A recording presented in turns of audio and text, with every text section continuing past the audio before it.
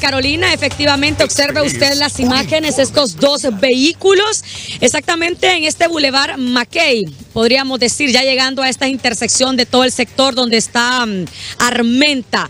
Aquí estos dos eh, vehículos, uno de ellos un rapidito al parecer privado y otro vehículo tipo camioneta que al parecer pues quería hacer una especie de giro, lamentablemente no midieron su velocidad y vean ustedes, el impacto ha sido tal que uno de ellos dio la vuelta por completo como que iba a regresar. Mientras tanto, la camioneta, pues se le activaron las bolsas de aire y afortunadamente no han salido personas lesionadas de gravedad. Lo que sí hay es un fuerte congestionamiento en este momento porque esta es una vía de mucho fluido vehicular, de mucho fluido vehicular, pero como le digo, aquí en sí los daños son materiales bastante fuertes. Voy, voy a ver si está por acá una de las personas, no sé si ya llamaron la ambulancia o si ellos ameritan ser atendidos. ¿Cómo han ocurrido los hechos? Ustedes,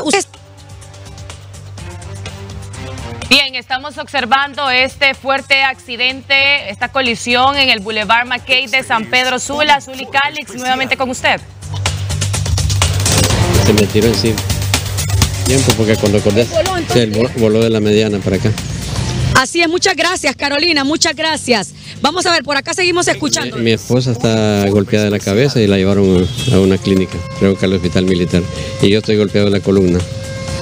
Así es, bueno, nos ha explicado el caballero en estos momentos cómo ha ocurrido el accidente. Oigan bien, el busito venía en el otro carril y perdió el control desde el otro carril, voló por toda la mediana y le vino a pegar a este señor. Se han llevado a su esposa a un centro hospitalario. Él dice pues que padece de la columna, él, venía manejando y obviamente pues también se encuentra bastante lastimado. Cuatro personas que venían. Realmente eso entonces es un milagro porque imagínense este, este vamos a enfocar para este lado.